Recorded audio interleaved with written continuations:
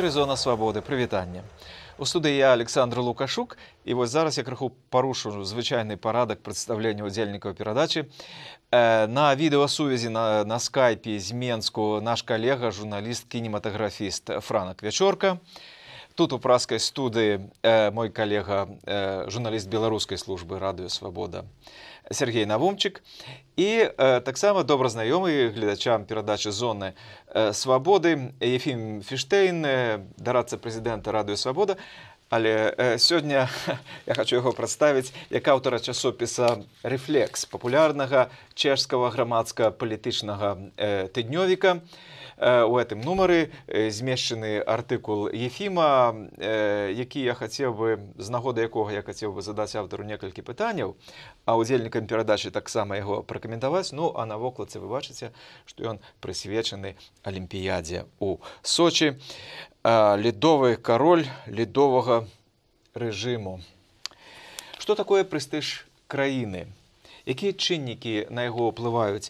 Ці патрэбны ці патрэбна змагацца за яго наогул? Вось за это мы будзем про это мы будзем сёння гаварыць. Ну і канешне э, э, ясна ў якім кантэксце шмат якія гледачы белсату э, я упэўнены э, глядзяць перадачы з алімпійскіх гульняў зімовых зімовай алімпіяды ў сочи александр лукашенко калі ўведаў пра першы залаты медаль беларускай э, зборнай які выйграла дар'я домрачева то сказаў наступнае такі тост.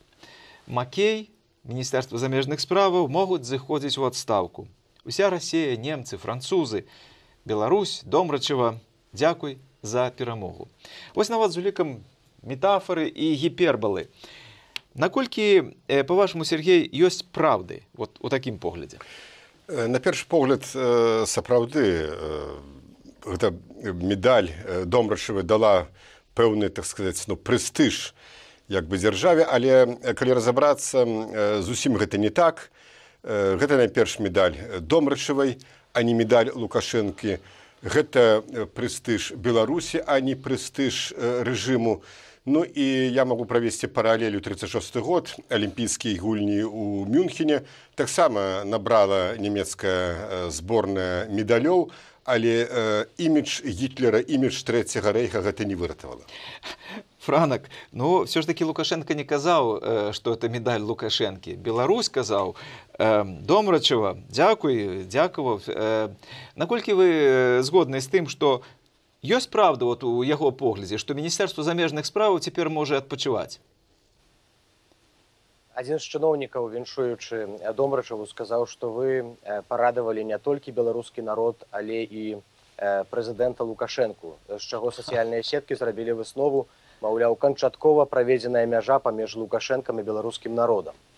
Справа ў тым што любыя спартовыя перамогі ў дыктатарскіх краінах яны практычна адзіны спосаб палепшыць імідж краіны але памятаем што імідж складаецца не толькі са спартовых перамогаў а таксама ну і з фінансавай стабільнасці і крэдытных рэйтынгаў але таксама і да павагі з павагі да правоў чалавека ў сваёй уласнай краіне.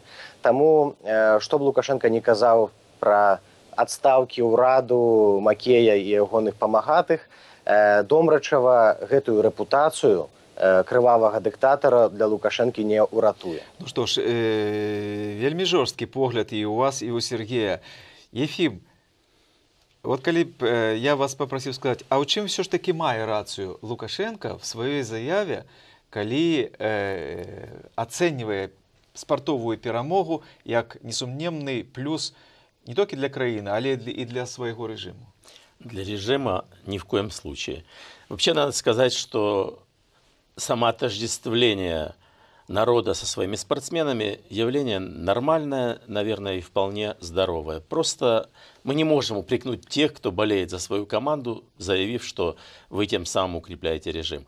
Но это надо все-таки отделять от э, всего действа Олимпийских игр, и надо отделять от попыток режима самоотождествиться действительно именно с успехом своих спортсменов и тем самым получить бесплатную рекламу. Здесь был приведен пример э, э, Берлинских Олимпийских игр 36-го, летних и зимних в том же году. И, кстати говоря, очень многие даже антифашистски настроенные журналисты отмечали их великолепие. Э, я не думаю, что удалось разделить. Я думаю, что многие поддались очарованию этих игр, очарованию прекрасной организации. То, что гитлеровскому режиму это не помогло, это уже другой вопрос. Надо сказать, что в истории наблюдаются э, не первые, не два, не один и не два случая, когда проводились такого рода зрелища со Старого Рима, начиная, наверное, зрелища хлеба и зрелищ требовали, требовало население Рима, и императоры им давали. Август, например, провел морскую битву на суше, что называется, выкопав для этого огромное э, вместилище воды. Э, то же самое было во Франции. И особенно с большим размахом проводились торжества при дворе Петра I и Екатерины в России. Но э, надо сказать, что это всегда должно оставаться чувство меры. Потому что если мы хотим, чтобы Олимпиада одна была дороже и богаче другой, то тогда мы очень быстро упремся в ну тупик. Что ж, это уже криху, криху, криху іншая тема. Ведаєте, що я от зараз слухаю е, відкази і Франика, і Сергія ваші фільми. Я згадав одну історію. Я зараз зроблю признання для що я не гляжу Олімпіаду. Е, не тому, що там просто спортом не надто цікавлюся, халя калі вока зачепіцца сапраўды прыгожа там бягуць форма прыгожая. А, але вось э, э, колькі гадоў назад быў такі выпадак у гісторыі беларускага э, спорта? Ну завзятары памятаюць нават гольд здаецца уже гадоў 10 таму. Беларуская хакейная команда выйграла у швецыі в некай важнай гульне на чэмпіянаце свету в канадзе здаецца. І такім чынам падарвала маг шансы швецыі выйсці там фінал. Не выйшла канешне і это была сенсацыя ў спартовых колах паколькі мы уже в той час в інтэрнэце даволі актыўна прысутнічалі раптам я атрымліваю имейл со, Шве... со Швеции электронное послание, в яким человек пишет, что я вас, значит, ненавижу, как вы э, э, как бы смели выиграть у нашей великой шведской команды, э, мы потерпели поразу, ну такое от спортового болезни. Я был так здивленный, я на это и не глядел. І я ведаеце, што я адказаў і напісаў ведаеце, што это я мушу на вас крыўдзіцца. Таму што хакей это э, улюбёная забава значит беларускага дыктатара і нармальная дэмакратычная шведская каманда прайграла он у нее цер трыумф. Это я мушу на вас крыўдзіцца, не вы на мяне. Меня так... Я атрымліваю імейл у адказ, в якім чалавек піша: Дякую вам. Я с такой цікавостью прочитал ваш мейл, открыл сайт и стал глядеть. Теперь я ведаю, что такое в Беларуси. Все ж таки спорт притягивает, и выники могут быть совсем не такие, как подается тем, кто подтрымливает спортовые перемоги. Ці могут спортовые перемоги подвысить престиж краины? С таким питанием мы звернулись до жихаров Бобруйску. Наверное, отражается. Я не знаю. Я спорт не смотрю, у меня нет времени. Конечно, это ж спорт, это ж лицо государства. Без этого ж никак нельзя. Вы же сами были молодым спортом, спортом же занимались. Это ваш, как говорится, имидж, ваш, ну, все это, как говорится, народное, правильно ж, не? Взять уже даже, даже Добрычеву, белорусскую, она, за нее болеет вся страна. Э, даже не, не только в Беларуси, а и за рубежом, ближайшее зарубежье, такая как Россия, Украина, тоже болеет. Э, и вот читаешь комментарии на спортивных э, форумах, тоже многие гордятся ну, за то, что за спортсменов постсоветского пространства. Ну, это хорошо, потому что у нас будет больше развиваться биатлон и всякие другие виды спорта. Другие будут думать, что у нас хорошо развитая, ну, вот, хорошо развитая страна.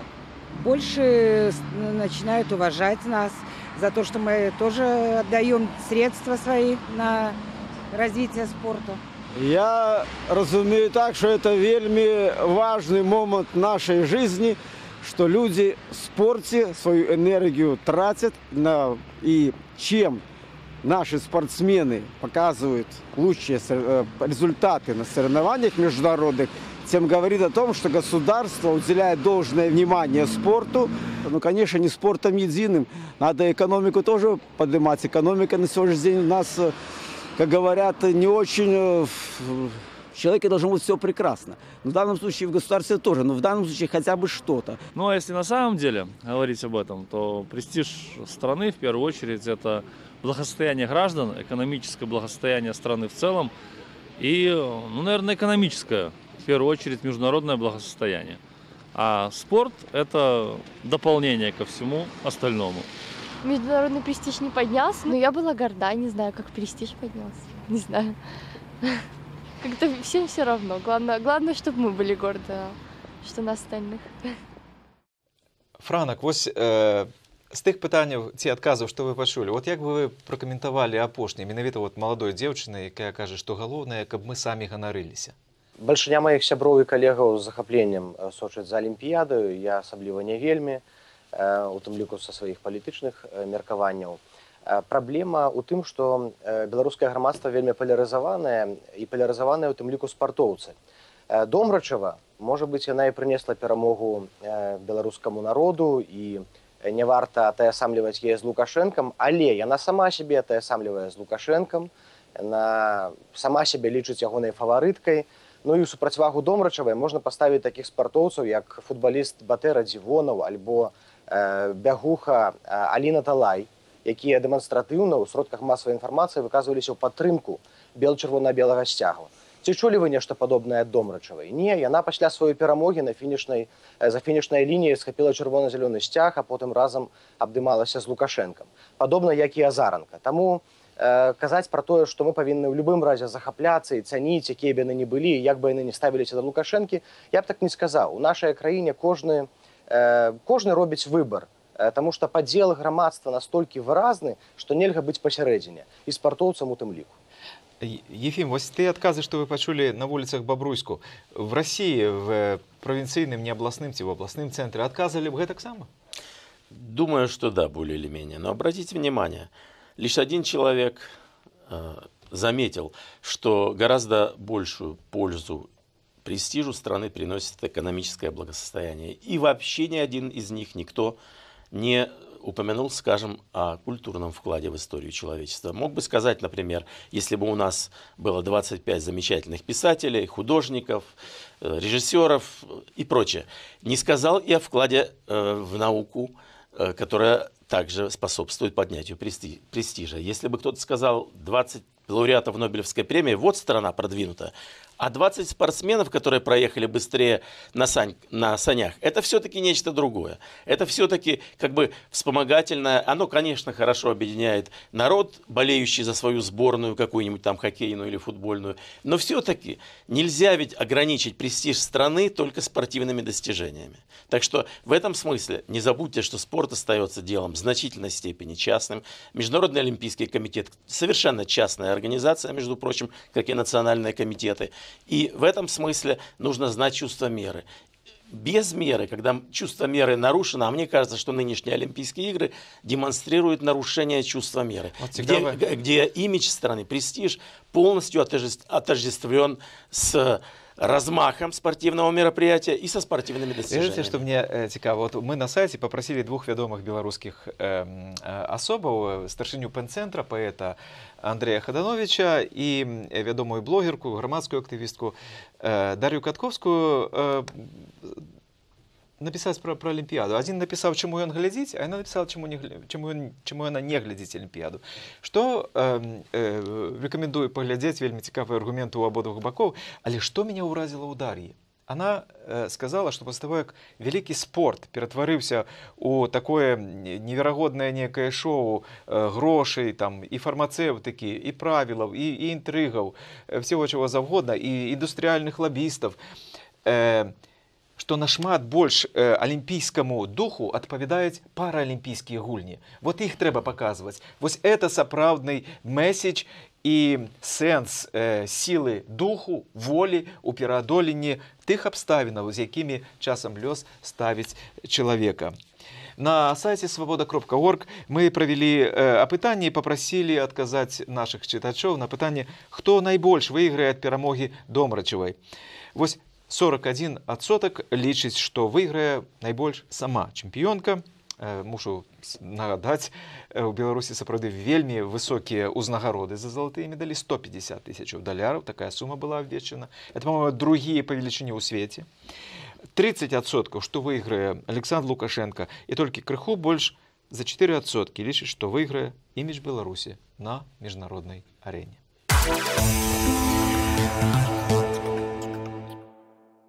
Зона свабоды працягваем праграму.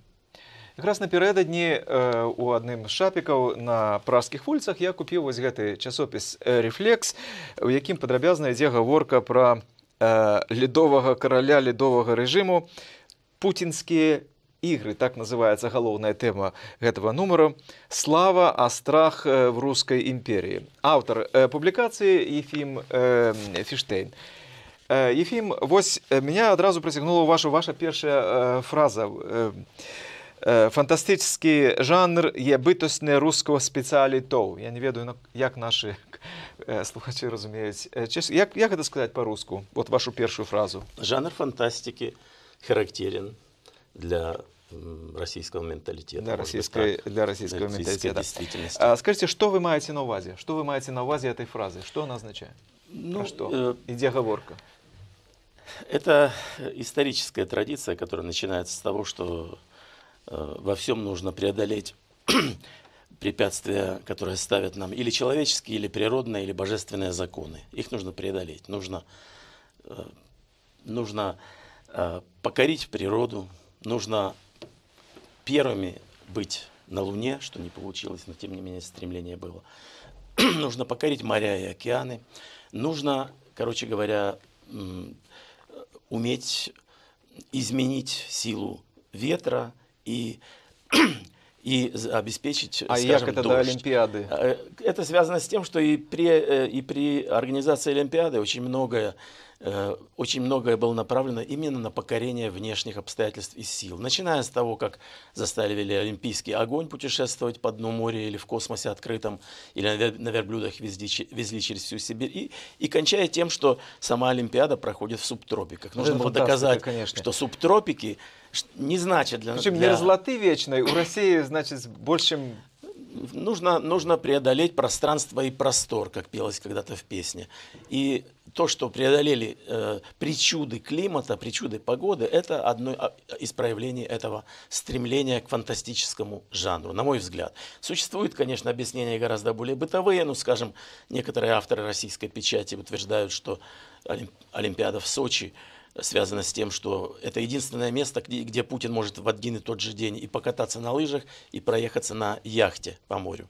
Так что, ну это уже э, может быть правда, но я не хочу э, как бы опускаться до каких-то личных, э, личных выпадов. Ну, е, звичайно, е, скажімо, часопис «Економіст», який так само на цьому тижні присвятив артикул е, е, Олімпіаді, вони звертають увагу на, і про це шмат говорилося, і ми говорили в перш, на питання кошту Олімпіади, безумного, да, і е, корупції. От цікава річ там була сказана, що е, будівнича індустрія сама по собі, будівництво само по собі, во всім світі займає в рейтингу корумпованих е, е, галінаў дзейнасці першае месца. Ну, а яшчэ ва ўмовах фантастычных э, фантастыка, калі ў это закладзена, то, конечно, там быў э, разгул.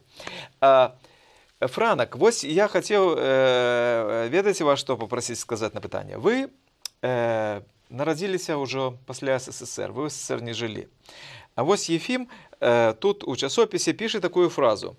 Э, Зімняя Алімпіяда сведчыць, што э, Расія застаецца э, краінай, дзе заўтра азначае учора. Вот як бы вы зразумелі гэтае пытанне, э, гэтую, гэтую, гэтую думку, што па-вашаму это азначае, што Расія і як это стасуецца таксама да Беларусі, застаецца краінай, дзе заўтра азначае учора. Ну, я мяркую, маецца на ўвазе, што Расія, э, дэманструючы сваю магутнасць, вялізныя бюджэты, гэтыя фантастычныя апетыты, хоча прадэманстраваць веліч колішняй імперыі, ці то расійскай, ці то савецкага саюзу, апелюючы у тым ліку да брэжнеўскіх алімпійскіх гульняў. Зрэшты, э, ну, зрэшты, маё пакаленне, мабыць, так, пакаленне народжаных напрыканцы 80-х 90-х, яно э, не дзякуючы алімпійскім гульням, не дзякуючы гіганцкім э, нафтадаляравым бюджэтам, ну, не здолее памяняць меркаванне пра рассею, Таму што за рассеяй замацаваўся э, цвёрды імідж, нават не імідж, Таму што імідж гэта тое, што ствараецца штучна, а замацаваўся цвёрды вобраз э, састарэлай краіны, непрыдатнай і нязручнай для жыцця маладых людзей. Таму э, што Расія магла б зрабіць, гэта э, стварыць такую дзяржаву, такую э, сацыяльную мадэль, пры якой бы там хацелася жыць, працаваць, зарабляць вялікія грошы, а не толькі э, прыязджаць як турыст на алімпійскія гульні. Але цяпер маладыя людзі, у тым ліку з Беларусі выбіраюць захад, Амерыку, але толькі, толькі не Расію. Сергей, вот я вам ведаеце задам якое пытанне. Калі б гэтыя гульні праводзіліся скажем в іншы час і прэзідэнтам краіны быў пазняк ці шушкевич чым была бы розніца як бы яны віталі домрачеву? Ну я думаю что э, не толькі яны а кожны дэмакратычна абраны прэзідэнт у дэмакратычнай краіне э, парадаваўся б за э, чэмпіёна прывітаў бы яе гэта традыцыя то есть некляев так... напісаў бы верш саннікаў бы кожны не адправіў у адстаўку кожны, кожны, па, кожны па-свойму іншая справа што не было б я думаю не пры пазняку не пра іншых не пры шушкевічу не пра нікляеву не пры саннікаву не пры кожным э, іншым дэмакратычна абраным прэзідэнце вот гэтай вот істэрыі спартовай вось ефім сказаў адну э, цікавую рэч што ганарацца спартовцамі А вот чамусьці не ганарацца пісьменнікамі, мастакамі, навукоўцамі. Ну, вот хай бы было 25 пісьме. Ефім, у Беларусі ёсць 25 выбітных пісьменнікаў, мастакоў, навукоўцаў. Э, просто сапраўды у Беларусі вельмі дзікі крэн ідзе на спорт.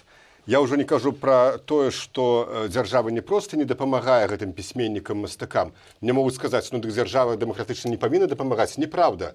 У ЗША ёсць скажем э, стыпендыі дзяржаўныя ёсць пазіцыя галоўнага бібліятэкара скажем смітцынскага універсітэта з вялікім акладам бродскі быў і гэтак далей розныя спосабы але нават справа не вот разумееце мы ўвесь час гаворым пра нейкіх выбітных асоб пра спартоўцаў навукоўцаў там кінематаграфістаў пісьменнікаў але ў цэлым у цэлым э, у беларусі ў заняпадзе э, адукацыя нацыянальная адукацыя. У беларусі зачыняюцца бібліятэкі зачыняюцца апошнія ўжо засталіся беларускія школы. І будуюцца вялізныя лядовыя палацы куды просто ідуць сотні мільёнаў тазаздаляраў і якое пакаленне выхоўваецца гэта вялікая праблема. І можа быць таму франак вячорка і кажа што маладым просто няма чаго рабіць. Не ўсё ж толькі маладым бегаць на каньках па гэтых лядовых палацах. Дырэктар расійскага незалежнага цэнтра вывучэння грамадскай думкі левада цэнтр лев гудкоў э, спасылаючыся на недавнее сацыялагічнае э, даследаванне. В Росіі сказаў, што 23 проценты жыхароў Росія лічаць алімпіяду важнай падзеі. А 17соткаў перакананыя, што алімпіяда працуе на імідж прэзідэнта Пуціна і расійскага кіраўніцтва. 23 проценты шмат это ці мала. 17соткаў шмат это ці мала. Про это поговорим далее.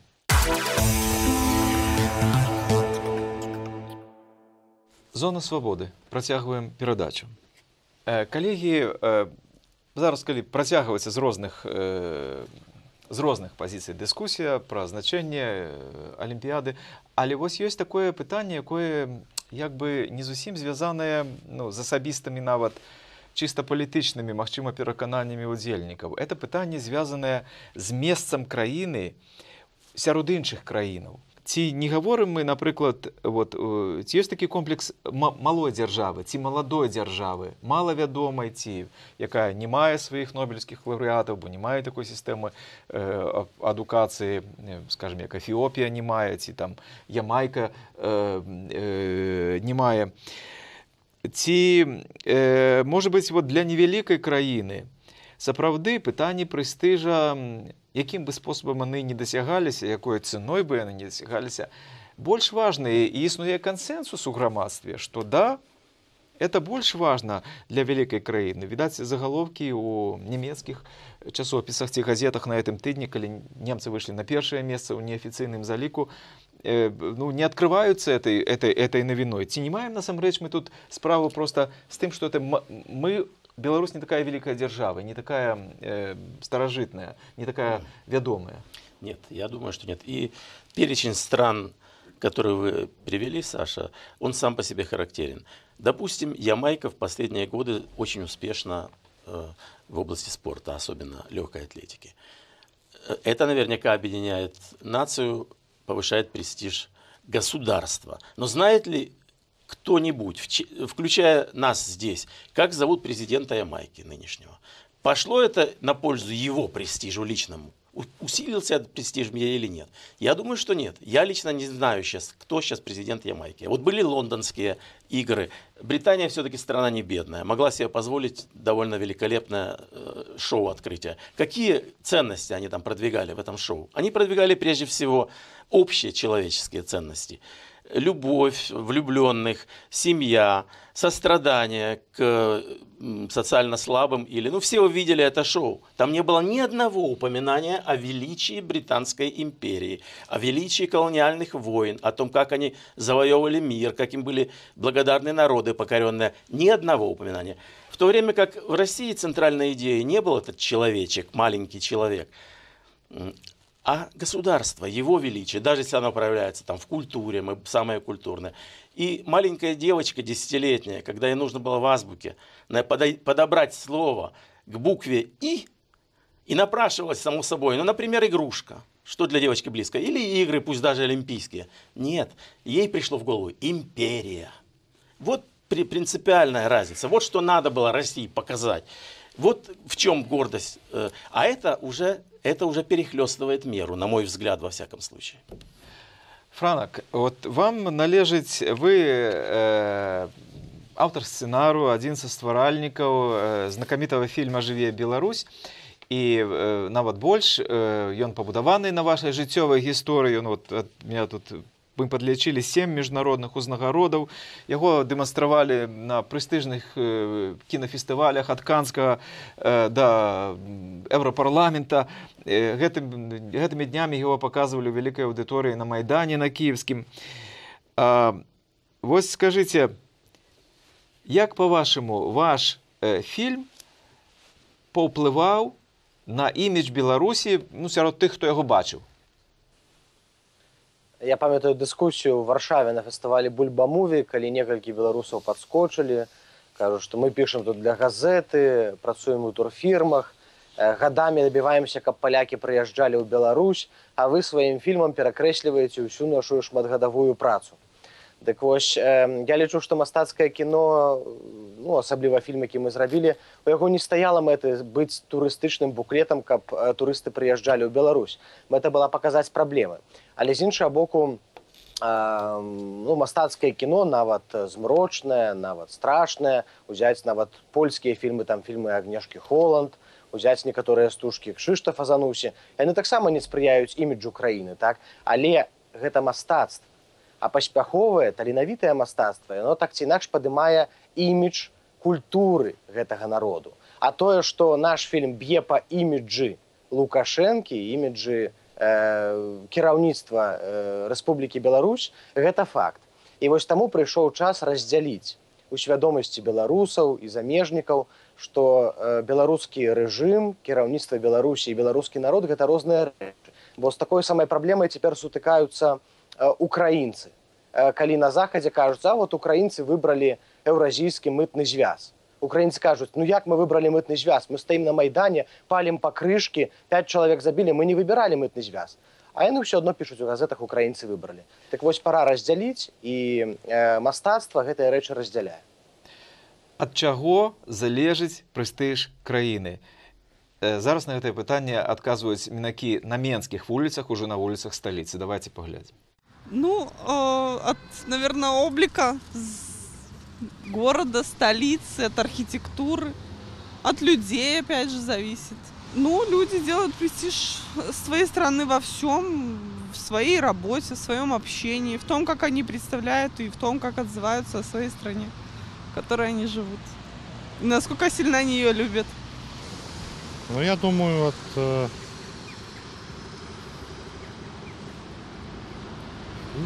нашего президента.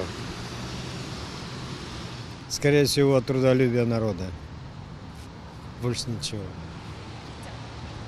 А, Для любой страны э, очень важно иметь свою культуру, вот, и поэтому я считаю, что то, как э, Беларусь представляет себя на международной арене, как она показывает свою культуру и для иностранцев, которые приезжают сюда, то, что они видят вокруг себя, вот это тоже, я считаю, важно для престижа страны.